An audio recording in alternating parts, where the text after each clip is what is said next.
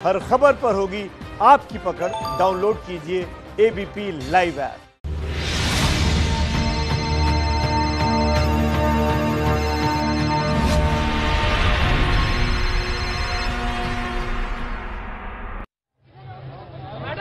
हाँ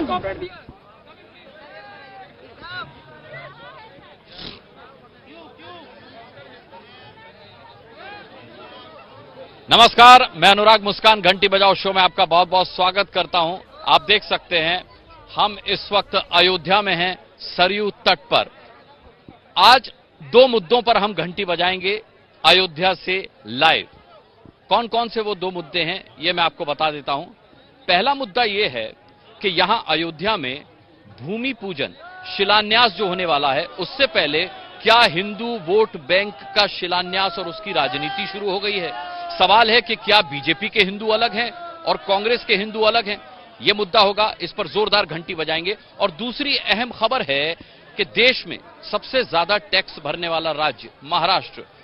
यहाँ देश की आर्थिक राजधानी मुंबई, जहाँ के लोग सबसे ज़्यादा टैक्स भरते हैं, लेकिन बावजूद उसके, वहाँ के संपन्न लोगों को टैक्स भरने के बावजूद घुटनों तक पानी में, कमर तक पानी में कीचड़ में धसना पड़ता है। और ये हर मानसून की, हर बारिश की कहानी है। तो टैक्स लेकर जनता को कुनीतियाँ देने वाली सरकारों की आज जोरदार घंटी बजानी है। आप सहमत हो तो जोरदार न केवल घंटी बजाइएगा, बल्कि अपना वीडियो संदेश भी हमें भेजिएगा।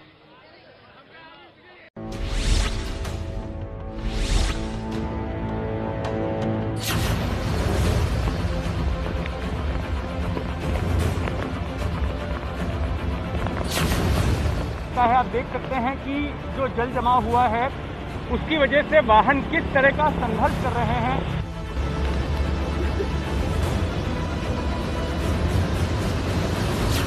जहाँ जहाँ नज़र दौड़ाएँ, आप देखें सड़कों पर पानी जमा है।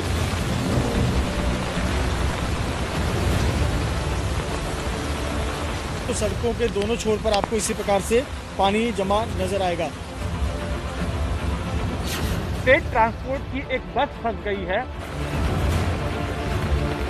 मेरी सबवे पे सबवे का जो दृश्य है, आप देख सकते हैं कि एक गाड़ी है जो ईस्ट से वेस्ट में जा रही थी और पूरी तरह से वो फंस गई।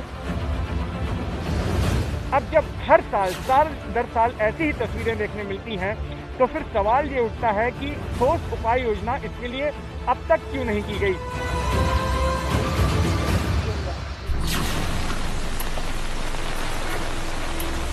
महाविकास के नाम पर महाराष्ट्र में सरकार बनाने वाले देखें मुंबई के सांता क्रूज की ये तस्वीरें, जहाँ नाले के पास मकान का हिस्सा गिरने के बाद डेढ़ साल की बच्ची नाले में बहती है। विचलित कर देने वाली इन तस्वीरों में नाले में बहती बच्ची को बचाने की कोशिश की जाती है। लेकिन देश में सबसे ज़्यादा टैक्स देने वाले मुंबई शहर की एक बच्ची नाले में डूबकर जान गवा देती है।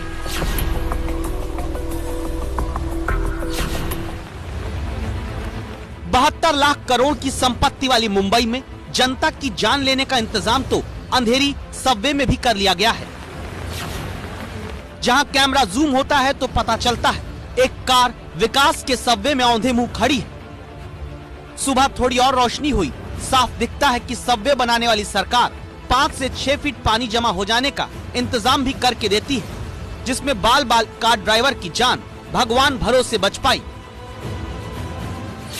मेरी सब्वे पे सबवे का जो दृश्य है, आप देख सकते हैं कि एक गाड़ी है जो ईस्ट वेस्ट में जा रही थी और पूरी तरह से वो फंस गई।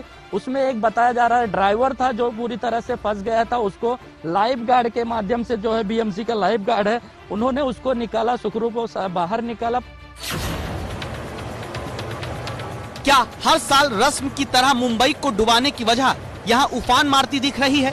इस कारण को आज आप समझें। उससे पहले देखिए। देश के प्रति एक रुपए डायरेक्ट टैक्स में तैतीस पैसा अकेले भरने वाली मुंबई में इस बार भी बारिश के बाद सड़कें समंदर हुई और लगा कारें जैसे तालाब के ऊपर चल रही हैं। और ये वडाला ब्रिज से सटा हुआ नीचे का इलाका है। आप देख सकते हैं कि जो जल जमाव हुआ है, उसकी वजह से वाहन किस तरह का संघर्ष कर रहे हैं यहाँ से गुजरने के लिए। वाहन के पहिए तक का आप देखेंगे कि पानी चढ़ाया है। कई लोगों ने रिस्क लेकर अपनी गाड़ी यहाँ पर उतार दी है। रिस्क लेकर सिर्फ़ गाड़ियाँ ही सड़क पर नहीं उतरी, बल्कि दो सौ अड़सठ मिलीमीटर बारिश के कारण मुंबई के चैम्बूर में घुटने तक डूबकर आम आदमी भी पैदल चल रहा है। ऑफ़िस जाने की मजबूरी में कमर तक पानी में डूबकर हाथ में छाता और बैग लिए ढाई लाख करोड़ का सालाना टैक्स भरने वाली मुंबई के परेल में आम आदमी नज़र आता है। सायन से लेकर मुलुंड तक ये जो रास्ता है, लाल बहादुर शास्त्री रोड, बहुत ही व्यस्त रास्ता है और इस रास्ते पर इस प्रकार से पानी जमा हुआ है। बताया जा रहा है कि रात के समय बहुत अधिक पानी जमा हो गया था, जो कि सुबह पानी, जो बारिश की गति है, उसके धीमी होने के बाद थोड़ा पानी कम हुआ, लेकिन अभी भी आप देखें तो सड़कों के दोनों छोर पर आपको इसी प्रकार से पानी जमा नज़र आएगा। मुंबई के दादर की तस्वीर देखकर सोचिए, लाखों रुपए खर्च करके, हज़ारों रुपए का रोड टैक्स भर के लाखों का इनकम टैक्स भरकर, आम आदमी, गाड़ी का सुख क्या इसलिए लेता है कि एक दिन बारिश होगी और उसकी कार डुबा दी जाएगी? क्या इसीलिए मीरा रोड में 40 लाख 50 लाख का घर खरीदता है आम आदमी कि वहाँ का इलाका सरकारें तालाब बनवा देंगी?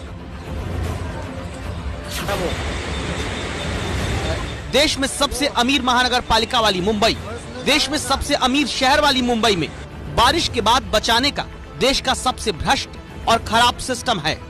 तभी तो सायन रेलवे स्टेशन पर ट्रैक पर इतना पानी भरा दिखता है कि लोकल ट्रेन को रोकना पड़ता है।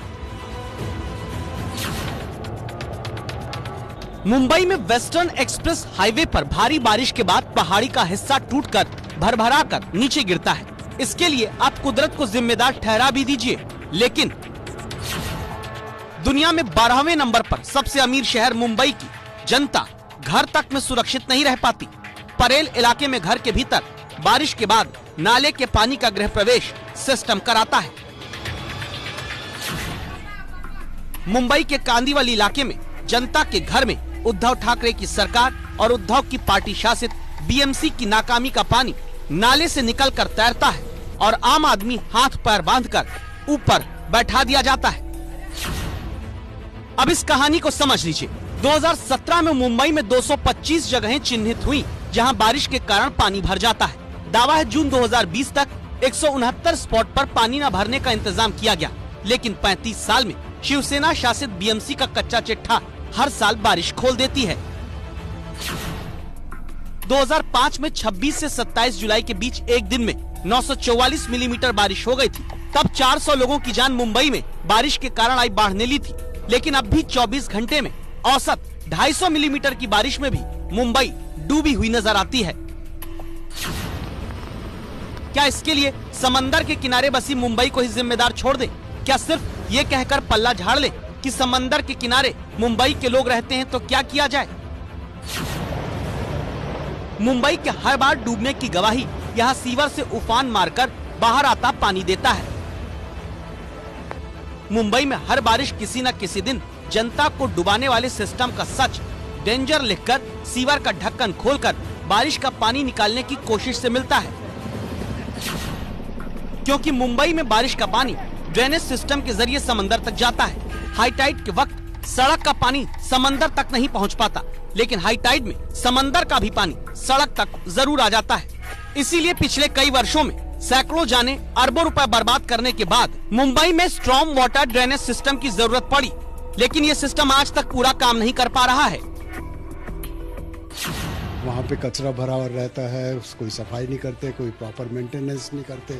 जब मानसून आता है, कुछ बजट सेंक्शन कर देती म्यूनसिपल कॉरपोरेशन या गवर्नमेंट ऑफ़ महाराष्ट्र और उसके बेसिस पे कुछ इमरजेंसी काम हो जाते हैं, लेकिन स्थिति वहीं की वहीं है। जो रिवर थी मीठी रिवर वो रिवर तो बिल्कुल एनक्रोच हो गई है स्लम्स बन गए हैं कंस्ट्रक्शन हो गई है, जो थोड़ा बहुत एरिया बचा है, वो लोगों ने पार्किंग बना ली है।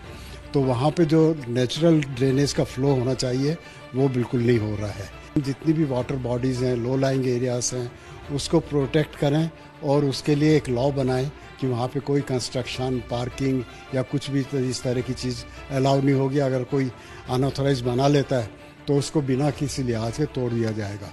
क्योंकि सरफेस पे तो आप ज़मीन पे नहीं है। जिससे बाईपास सर्जरी होती है, उसकी बाईपास करें अंडरग्राउंड टनल्स ले जाएँ और उसको जहाँ तक हो सकता है पंपिंग करके सी में निकाल दें। इसीलिए आप इसे आसमान से हुई बारिश का असर नहीं, बल्कि करप्शन के ड्रेनेज सिस्टम से डूब रही मुंबई कहिए। आज एबीपी न्यूज़ की राय है, किसके कारण आज तक मुंबई का सीवेज सिस्टम सही नहीं हो पाया? मुंबई में ड्रेनेज सिस्टम में भ्रष्टाचार की जाँच हो। उन अधिकारियों पर कार्रवाई हो, जिन पर बारिश में मुंबई को डूबने से बचाने की ज़िम्मेदारी होती है। आप इस राय से सहमत हैं? तो eight four double two eight four double zero double zero आरोप घंटी बजाइए, आवाज़ उठाइए।